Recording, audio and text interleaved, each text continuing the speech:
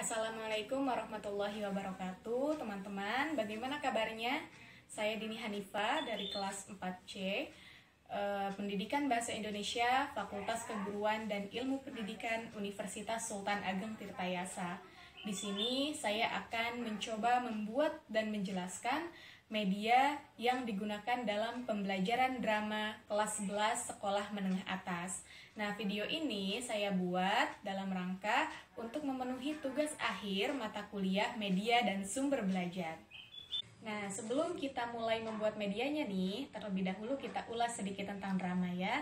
Seperti yang sudah kita tahu, drama merupakan salah satu jenis karya sastra yang menceritakan kisah, watak, dan tingkah laku manusia lewat peran dan dialog yang ditampilkan di atas panggung.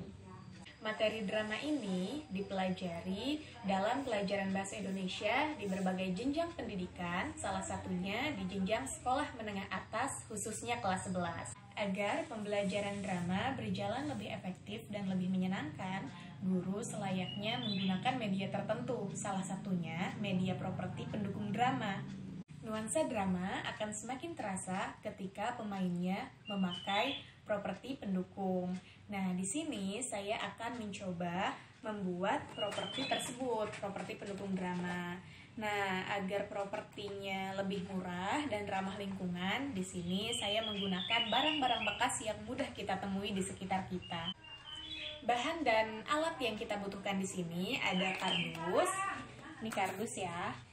Lalu ada isolatif, ada gunting, dan ada pisau kecil, bisa cutter, bisa gunting, pokoknya apa saja yang kira-kira bisa e, memotong kardus dengan rapi. Nah, di sini saya akan membuat properti dalam drama Si Kancil Pencuri Timun. Nah, yang pertama ada properti untuk kancil. Bentuknya seperti ini ya teman-teman, sederhana sekali. E, tentu saja caranya pertama-tama kita gambar e, dengan bentuk telinga kancil di kardus dengan menggunakan spidol atau pulpen, lalu kita gunting hingga bentuknya seperti ini. Nah, ini kalau dipakai kira-kira seperti ini. Untuk lebih rekat, teman-teman bisa menambahkan tali. Nah, yang selanjutnya kita buat properti untuk petaninya nih. Ada yang bisa nebak kita mau buat apa?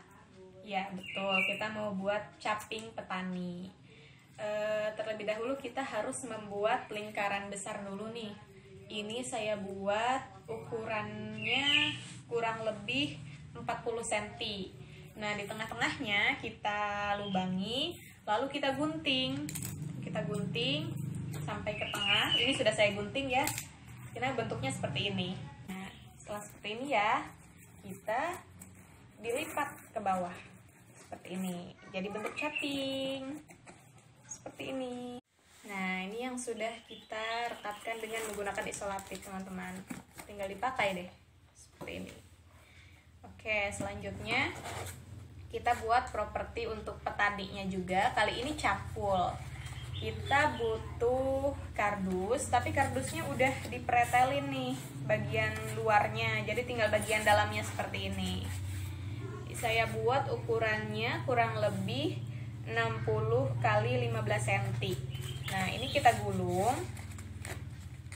Nah ini yang depan gulung kecil seperti ini. Lalu kita rekatkan dengan isolatif.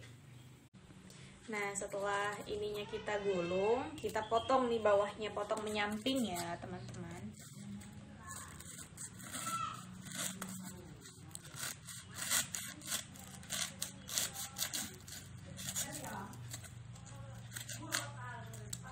Potong menyamping seperti ini yang sudah kita kasih isolatif. Jadi ininya sudah rapih ya. Dan ini untuk bagian bawahnya. Jadi tinggal kita tempel deh. Kita tempel bisa pakai lem tembak bisa pakai isolatif bisa pakai lem kayu. Nah ini dia yang udah jadi teman-teman. Cangkul. Cangkul untuk petani. Gimana? Mirip cangkul nggak? Nah ini dia properti yang kita buat kali ini Setelah membuat properti ini, guru bisa meminta beberapa siswa atau meminta kesediaan siswa tanya siapa yang berani gitu atau bagaimana kepada siswa untuk maju ke depan dan memperagakan salah satu adegan dalam drama si kancil e, pencuri timun. Lalu setelah itu guru membagi siswa ke dalam beberapa kelompok, meminta siswa untuk memilih salah satu judul drama dan meminta siswa untuk membuat properti drama dari barang-barang bekas sebagaimana yang dicontohkan di awal. Baik, sekian dari saya. Terima kasih. Semoga bermanfaat. Wassalamualaikum warahmatullahi wabarakatuh.